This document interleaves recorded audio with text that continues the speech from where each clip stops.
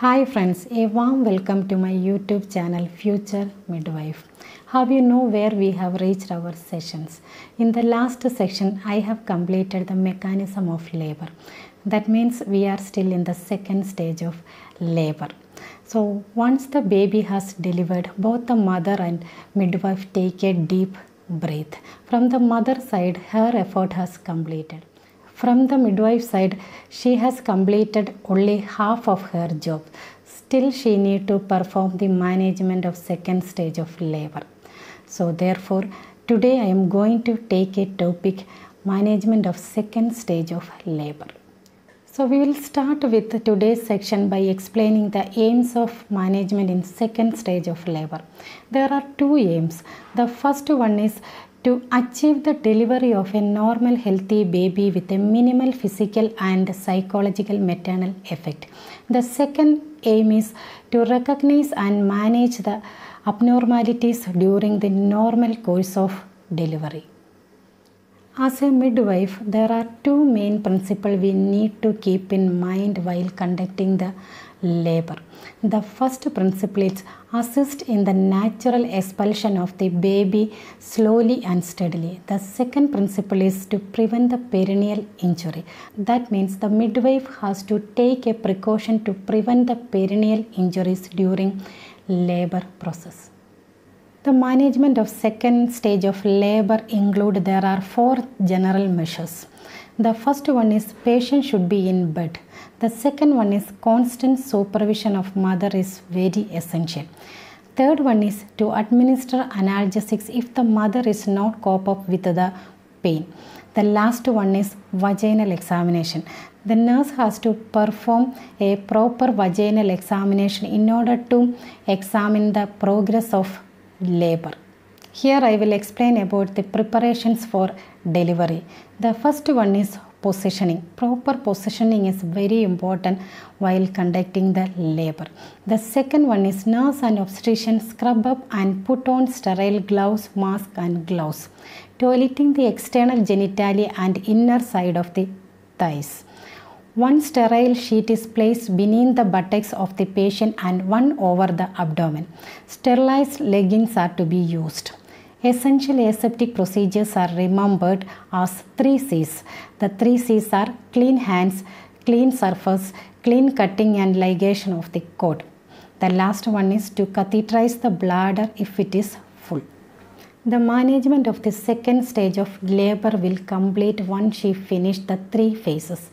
The first one is delivery of the head, the second one is delivery of the shoulder, and the third one is delivery of the trunk.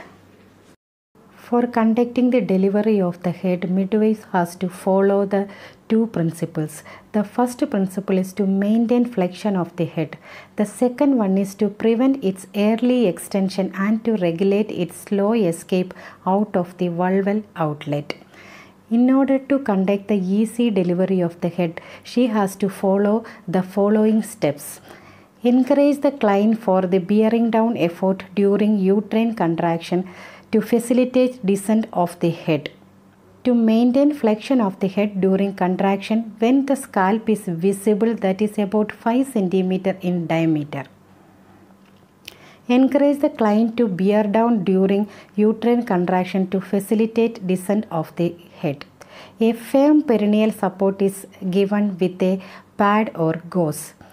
The forehead, nose, mouth, and chin are born by extension. Immediately the following delivery of the head, the mucus and blood in the mouth and pharynx are wiped with a sterile gauze or a bulb sucker. The neck is palpated for any loop of the cord. If found loose enough, it can be removed. If it is tight, it should be clamped and ligated, and the baby's shoulders are delivered. Do not be panic in delivery of the shoulders. Wait for contraction and watch for restitution and external rotation of the head. Thus indirectly signifies that bisacromial diameter is placed in anterior posterior of the pelvis. During next contraction, the anterior shoulders is born behind the symphysis pubis. Place on each side of the head and deliver the anterior shoulder. By drawing upward traction of the head, the posterior shoulder is released from the perineum. After the delivery of the shoulders, the trunk is delivered by lateral flexion. Here we can discuss about the precautions need to take for the prevention of perineal laceration. The first one is more attention should be paid not to the perineum but to the controlled delivery of the head. Delivery by early extension is to be avoided. Spontaneous forcible delivery of the head is to be avoided. To deliver the head in between contractions. To perform timely episiotomy to take care during delivery of the shoulders as the wider bisacromial diameters emerges out of the introitus. After the delivery of the baby, immediate newborn care also very important. So once the baby has delivered, need to keep the baby in a sterile towel. Then she has to perform some immediate newborn care. I will explain one by one. Baby should be placed on a tray covered with a clean dry linen with the head slightly downward soon after the delivery. Maintaining thermoregulation, suctioning to clear the air passage, maintaining cardiorespiratory functions. Oxygen may be given as needed until the infant cries vigorously. Apgar score has to be monitored properly. Clamping and ligation of the cord documenting urination and passage of meconium, administering vitamin K, prophylactic eye care has to be given, promoting parent newborn bonding. Quick check is made to detect any gross abnormalities. Apart from that, midwives has to do the normal measurement of the newborn, which include weight, length, head circumferences, chest circumferences and abdominal circumferences. Keep the baby under the warmer.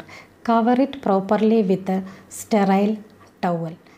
Breastfeeding has to be initiated within 30 minutes. It also helps to improve the bonding relationship between mother and child. This is the brief description of management in second stage of labor. There are few more points I left out which I will take it in the next section. In the next section I will take third stage of labor and its management. Till that take care. Bye bye.